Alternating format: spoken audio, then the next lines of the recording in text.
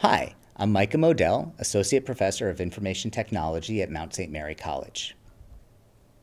Games are fun, right? But did you ever stop to think about what that really means? Well, there's a few ways of looking at it. A game is fun when there are aspects of surprise, you know, something that's unexpected, and then a dilemma or a difficult decision that needs to be made. Narrative, which is some sort of an unfolding story, even if that story is really pretty simple. Agency, which is the ability to affect change in that game world.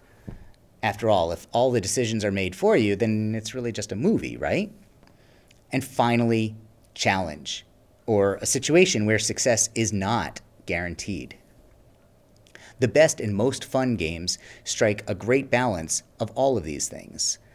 And if you're interested in making your own games, check out the Mounts Game Development major at www.msmc.edu.